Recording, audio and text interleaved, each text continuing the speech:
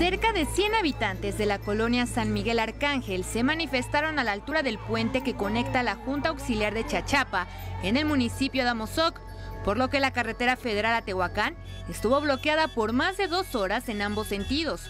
La zona estuvo resguardada por elementos de la Guardia Nacional y Policía Estatal. Nosotros estamos exigiendo un camino, ya que un vecino de la colonia San Miguel Arcángel, allá abajo en Chachapa, nos cerró el paso que dice que es su propiedad. Aseguraron que son más de 60 familias las que se han visto afectadas con la falta de servicios como gas, pipas de agua y basura, al no tener un camino seguro por donde circular.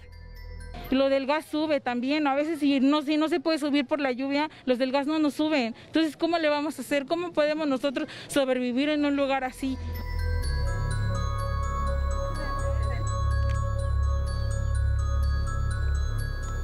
Esta barranca es la única salida que tienen los vecinos de San Miguel Arcángel. Incluso tuvieron que colocar llantas llenas de piedras y arena para poder formar un camino.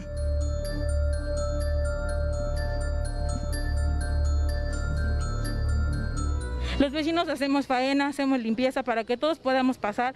Ahorita pues porque no hay clases, pero imagínense, los niños también tienen que ir a la escuela, las personas trabajan. Ante esto, personal de la Secretaría de Gobernación junto con elementos de la Policía Municipal y Estatal realizaron un recorrido por la zona y determinaron que en coordinación con Gobernación del Estado trabajarán de manera jurídica y legal para dar una solución. La solución inmediata es que el señor tiene que acceder a liberar ese paso. Esa es la inmediata.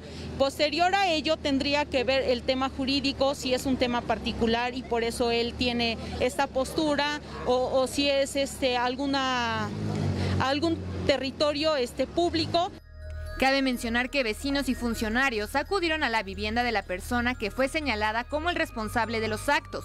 Sin embargo, nadie abrió la puerta. Las cámaras de TV Azteca Puebla regresaron al lugar de manera posterior y nadie abrió. Por lo pronto, la vialidad ya fue liberada. Con imágenes de Oscar Martínez, Daniela Casco, Azteca Noticias.